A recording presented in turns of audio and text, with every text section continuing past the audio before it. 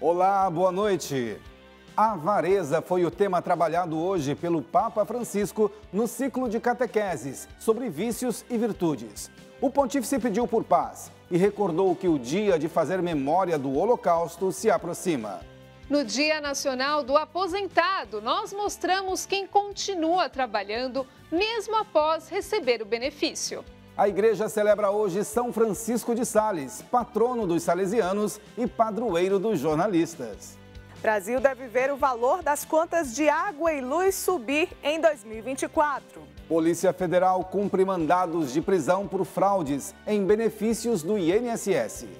Em Minas Gerais, uma riqueza que desperta o paladar, a maturação do queijo Frei Rosário. Esta é a TV de inspiração católica Canção Nova, a serviço da vida e da esperança. Está no ar o Canção Nova Notícias.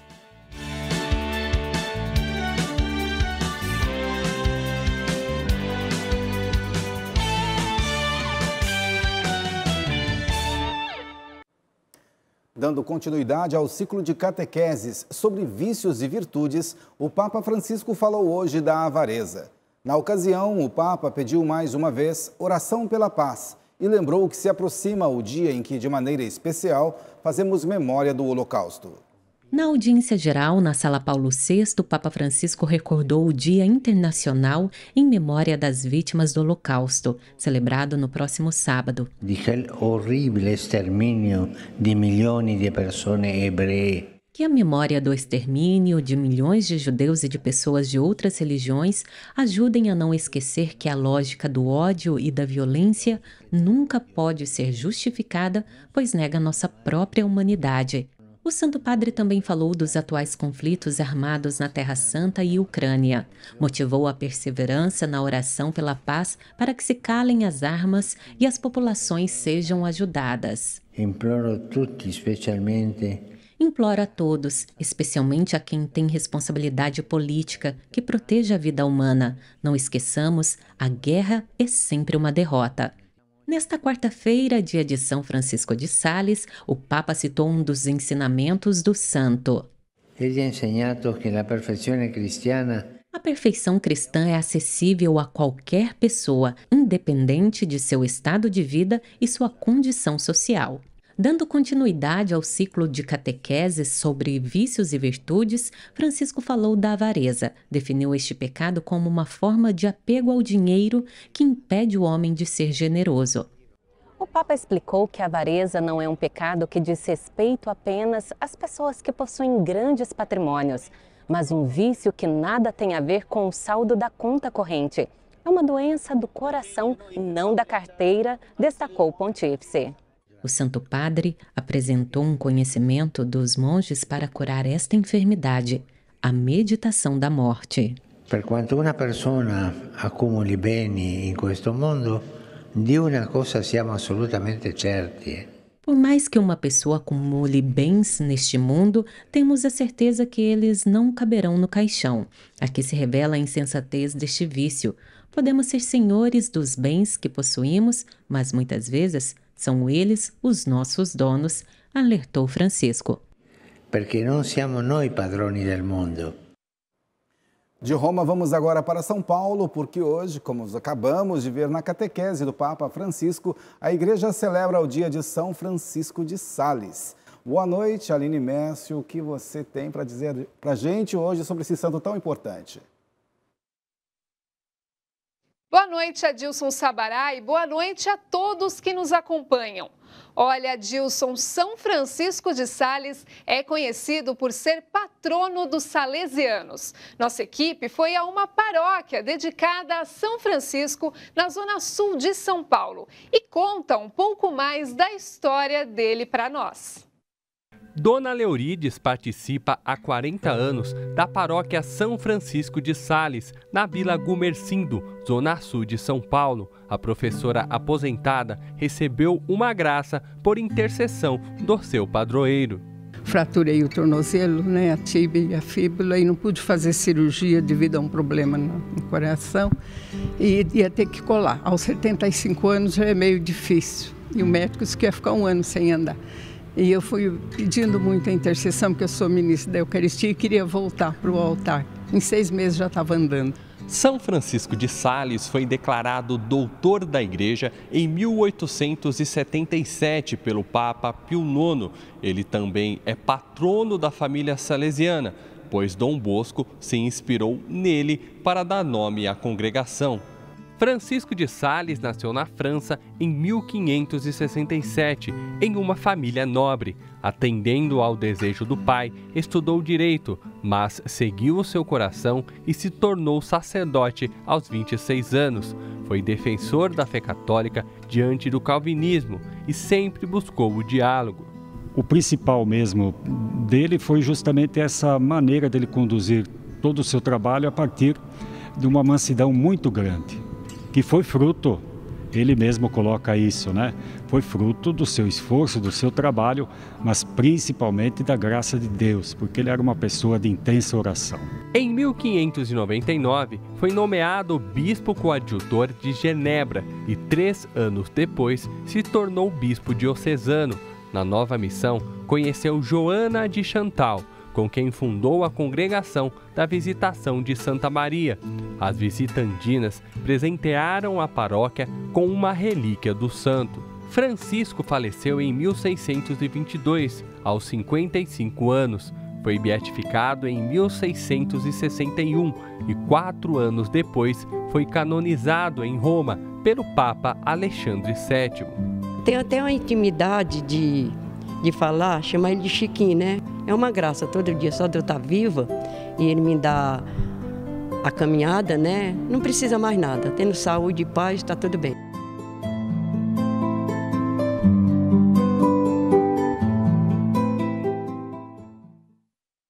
E hoje também é lembrado o Dia Nacional do Aposentado. A data faz referência à criação da Lei Brasileira de Previdência Social há 101 anos. Segundo o Anuário Estatístico da Previdência Social, o Brasil tem hoje mais de 37 milhões de aposentados e pensionistas urbanos.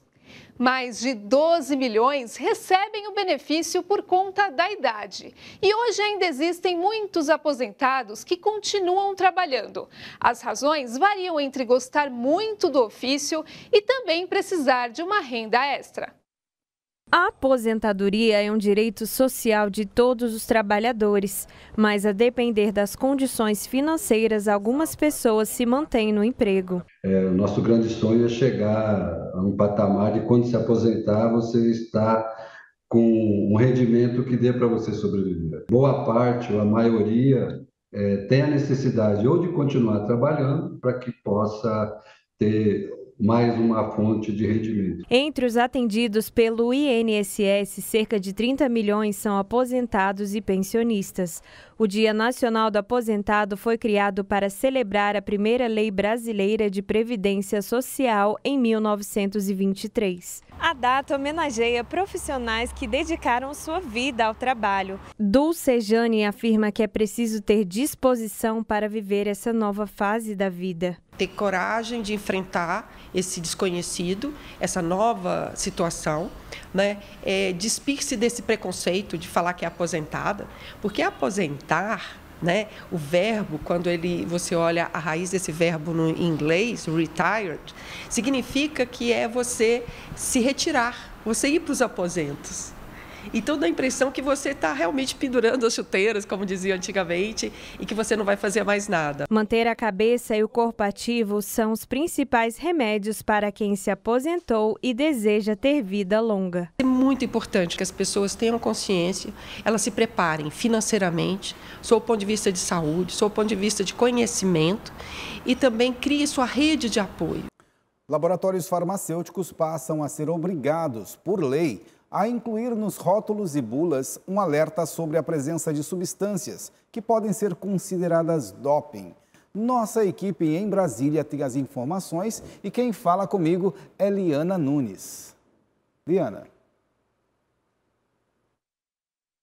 Exatamente, Adilson. Boa noite a você e a todos. Olha, a dopagem se refere ao uso proibido de substâncias ou métodos que prometem melhorar a performance dos atletas.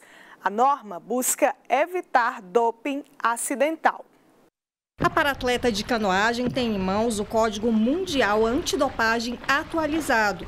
A norma deve ser cumprida pelos mais de 300 mil esportistas brasileiros em competições nacionais e internacionais. Existe uma entidade que é a UADA, ela organiza todas as substâncias e atualiza essa lista anualmente e o atleta precisa consultá-la toda vez que vai consumir um medicamento, alguma substância, até mesmo produtos de beleza. A Agência Mundial Antidoping inclui o uso de anabolizantes, estimulantes, hormônios e diuréticos durante e após o período de competição para aumentar a performance. A composição de medicamentos usados no dia a dia, como remédios com efeito analgésico, podem ter componentes proibidos. A senadora e relatora do texto, Leila Barros, defendeu que a falta de informações sobre essas substâncias estava entre a maioria das causas de consumo acidental. O farmacêutico explica que a alteração na lei de rotulagem e o alerta para substâncias proibidas por atletas é algo novo. No Brasil não existia nada específico que dizia, olha, esse medicamento causa doping. Então, a nova, a nova lei vem para fazer uma alteração no artigo 57 da legislação antiga, para dizer que também os produtos com doping vão vir uma rotulagem específica dizendo que este produto pode causar doping. A regra passa a valer em 180 dias. Medicamentos que contêm substâncias vedadas pelas autoridades deverão trazer o alerta na embalagem. Os atletas precisam tomar muito cuidado em relação ao uso de medicamentos, porque vários deles podem provocar vantagens uh, desportivas desonestas e isso é, é, algo que é completamente avaliado pela, pelo Código Mundial de Antidopagem, pela Agência Mundial de Antidopagem, e o Brasil tem também o seu comitê relacionado. E a Polícia Federal cumpriu mandados de prisão contra o grupo acusado de fraudar a concessão de benefícios do INSS. O prejuízo estimado aos cofres públicos foi de 13 milhões de reais. Os acusados atuavam há mais de 10 anos. A Operação Melhor Idade cumpriu mandados de prisão e de busca e apreensão no Distrito Federal, Goiás e Piauí. As investigações revelaram a movimentação do grupo desde 2012. Mais de 260 CPFs de pessoas com mais de 65 anos foram criados para permitir a solicitação do benefício de prestação continuada. O recurso é concedido a idosos de baixa renda que não conseguem se aposentar por idade. O valor pago é de um salário mínimo. De acordo com a Polícia Federal, a organização conseguiu 208 benefícios por meio de documentos falsos. Os CPFs foram cancelados e 151 benefícios revogados. A ação provocou prejuízos de 2 milhões e 600 mil reais por ano ao INSS a Justiça decretou a prisão de cinco pessoas e o bloqueio de contas, imóveis e veículos. Francisco Coelho para o Canção Nova Notícias. E o consumidor brasileiro deve ver as contas de energia elétrica e água ficarem mais caras este ano. A Agência Nacional de Energia Elétrica, ANEEL, divulgou a projeção, indicando que a alta pode superar a inflação em 2024. As tarifas de energia elétrica devem subir em média 5,6% em 2024, segundo projeções da Agência Nacional de Energia Elétrica. A alta está acima dos 3,86% da inflação estimada para o período. Todos os anos, a ANEEL ajusta as tarifas de energia cobradas pelas distribuidoras.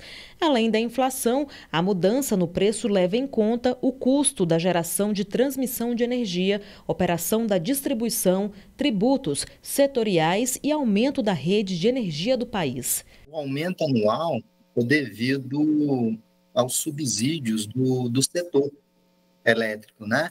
E esses subsídios, eles são pagos por meio de tarifas, que são, são tarifas que estão na conta, na conta de energia. São os custos relacionados com a transmissão da energia, né?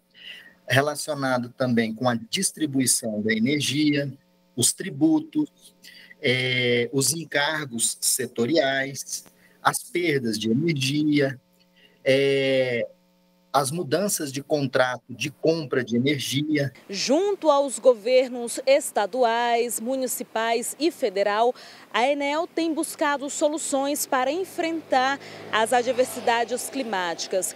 Recentemente, o fornecimento de energia elétrica foi interrompido em vários estados brasileiros. A conta de água também deve subir ao longo do ano. Um levantamento realizado por duas entidades do setor de saneamento básico aponta que a alíquota atual de 9,25% pode saltar para 27%, mas chegar efetivamente a 18% nas tarifas devido aos créditos de serviços fornecidos para outras empresas.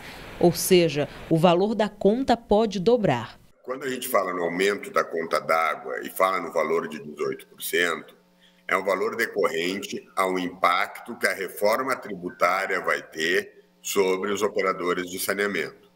Tá? Hoje, as empresas de saneamento pagam apenas dois impostos, que é PIS e COFINS, tá?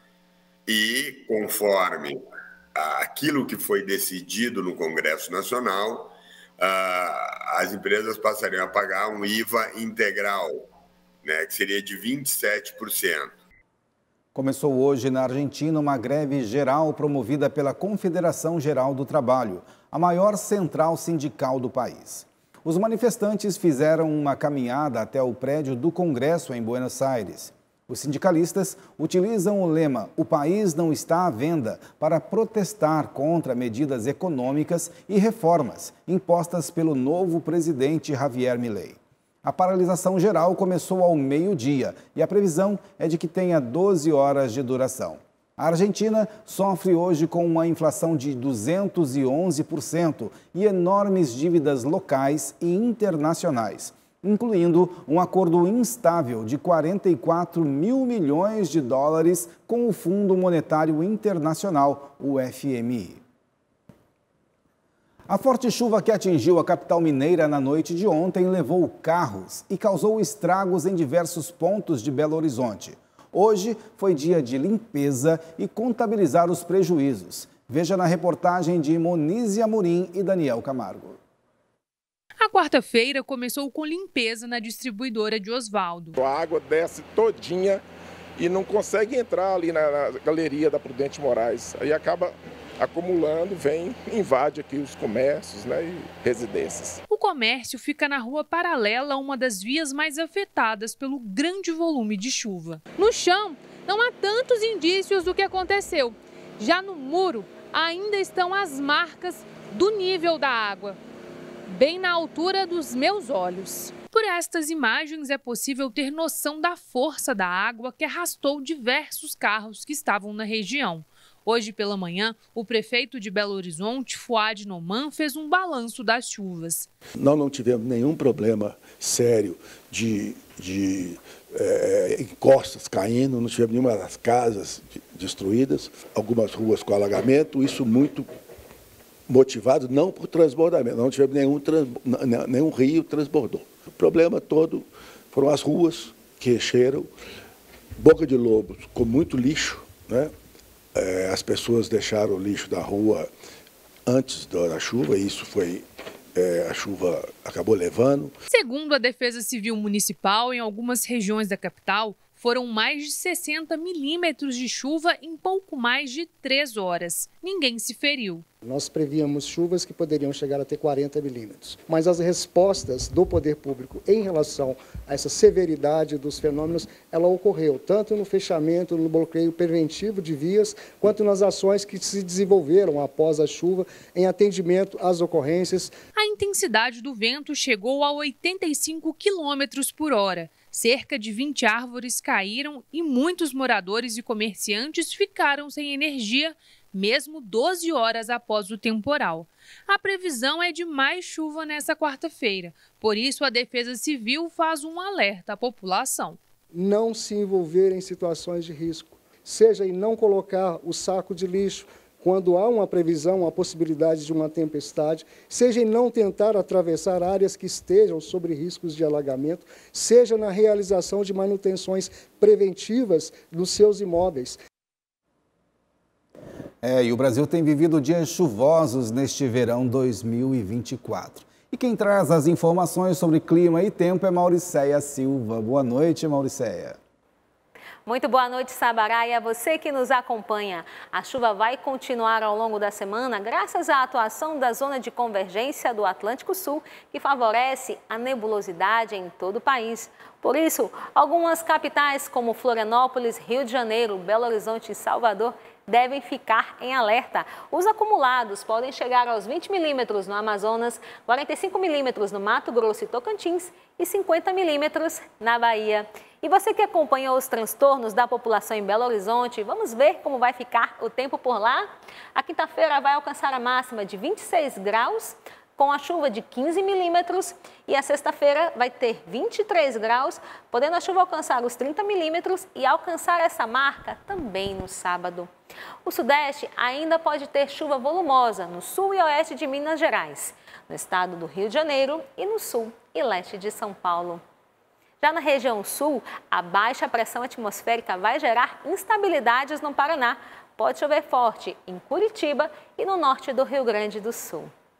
A quinta-feira será de temporais entre Goiás e Mato Grosso do Sul, com a sensação de ar abafado. Já na região norte, o dia será instável em toda a região. Não chove apenas nessa região amarela do mapa, que corresponde ao norte do Amazonas e ao estado de Roraima. Mas na região nordeste ainda vai chover muito. No sul do Maranhão, Piauí e parte da Bahia tendo chuva fraca apenas aqui no leste de Alagoas. Os termômetros marcam mínima de 24 graus em Teresina, Fortaleza, Natal e máxima de 34 graus em Teresina. Por hoje é só Sabará, eu volto com você e amanhã tem mais. Obrigado, Mauro, e até amanhã. Lembrando que agora o Santuário Nossa Senhora da Piedade, Casa da Padroeira de Minas Gerais, que além de religiosidade e da exuberância do lugar, há uma outra riqueza que desperta o paladar, a maturação do queijo Frei Rosário. A técnica foi desenvolvida há quase 50 anos pelo próprio Frei Dominicano e ex-reitor do santuário. Os 1.746 metros de altitude representam as condições perfeitas para o processo de maturação do queijo. A gente tem dois fatores aí interessantes né, para a maturação de um queijo com esse tipo de característica né, que o queijo do Frei tem, que são a baixa temperatura, é, lá um lugar muito alto né, também, e a umidade elevada. Frei Rosário teve sua formação dominicana toda na França praticamente. E de lá ele aprendeu a, o processo de cura e de conserva de alimentos. A raridade do queijo vem do ambiente de caverna simulado por Frei Rosário. Aqui o queijo fresco, vindo da Serra do Salitre, fica entre 60 e 45 dias. O resultado é um produto diferenciado e de sabor único. Ele tem uma textura de um requeijão um pouco mais firme. A casca, ela tem um gosto bem particular, meio terroso. E no seu interior, ele tem uma cremosidade adequada. E com o tempo, essas, esses fungos, né, eles vão é, degradando a, a, a, massa né, do queijo, vão quebrando, né, a degradação no sentido de quebrar as moléculas de proteína, de gordura, e vão tornando esse queijo mais macio. Né? Lucas está no ofício há quase 10 anos e explica como a maturação é feita. Aí ele chega para mim aqui, eu lavo ele todinho, lavo, seco e venho e coloco aqui em cima desses panos do jeito que ele ensinou. Aí a cada dois, três dias eu venho cá, viro eles. Esse queijo, ele é tão importante porque ele foi o responsável pela criação da lei que regulariza a cura de queijos com fungos no Brasil. Então, se hoje nós podemos produzir no Brasil o brie, o camembert é, e outros tantos tipos de cura com fungos em nossa região e consumi-las é por causa desse queijo que só existe aqui.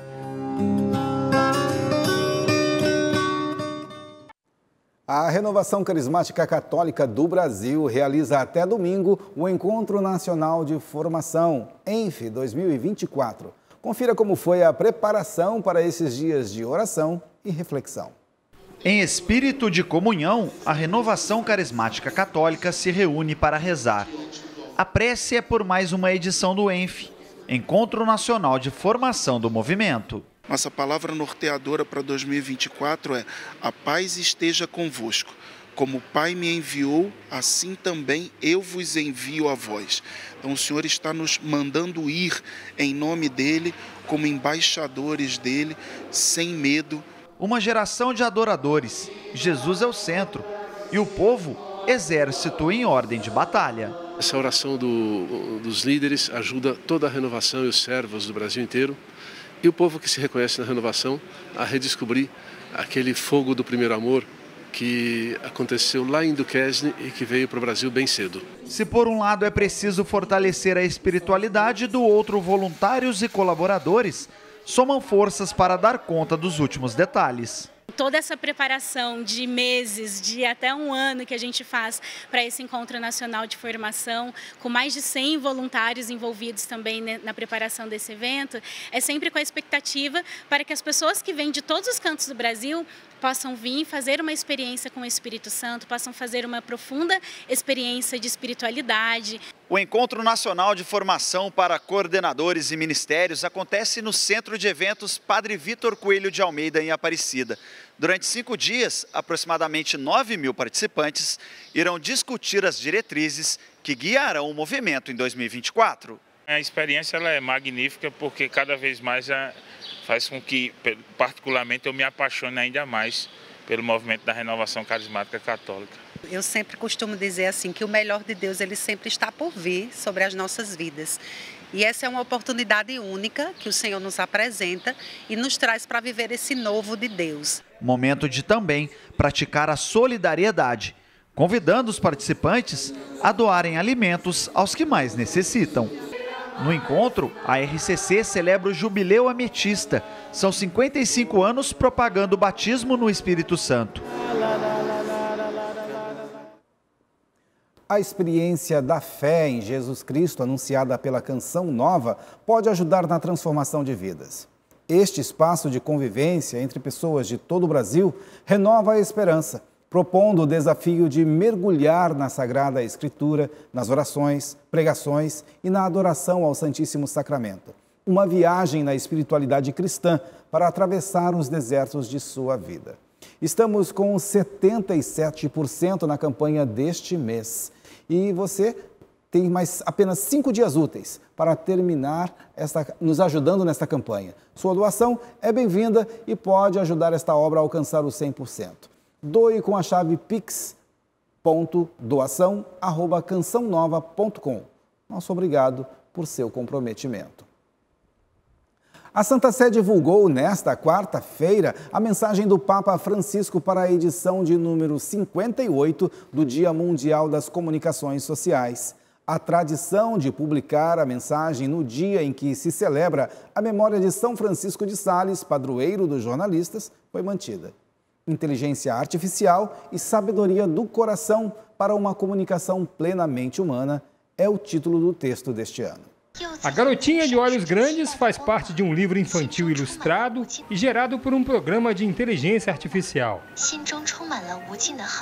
Os pais escolhem os temas como o de fazer as crianças comerem vegetais. O filho pode ser protagonista da história. A nova era da inteligência artificial de nível profundo está às portas. Já tem barman de inteligência artificial. No Rio de Janeiro, a prefeitura e a startup Morfo se uniram para reflorestar áreas degradadas. A inteligência artificial definiu alvos específicos e o número de sementes a serem lançadas. Um único drone lança 180 sementes por minuto, 100 vezes mais rápido que o reflorestamento tradicional. Para esse especialista chinês, todos terão no futuro um assistente de inteligência artificial. Ele acredita que até 2026, 80% das empresas vão incorporar a IA e 70% dos aplicativos em todo o mundo usarão esse tipo de abordagem. Os avanços tecnológicos e a utilização ética das máquinas pelos homens são pontos da mensagem do Papa Francisco para o Dia Mundial das Comunicações Sociais.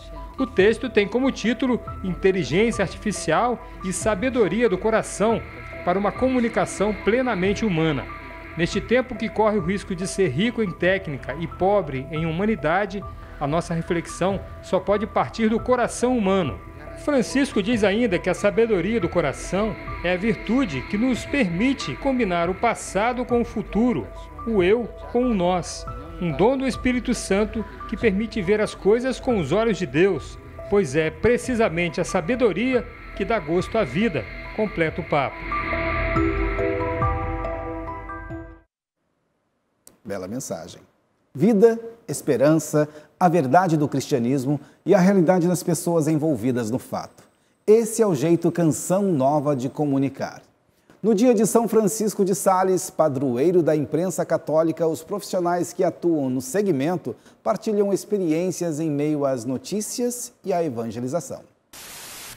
Ruído em busca da sintonia da informação, uma saudação conhecida. Bom dia para você sintonizado na Rádio Canção Nova FM.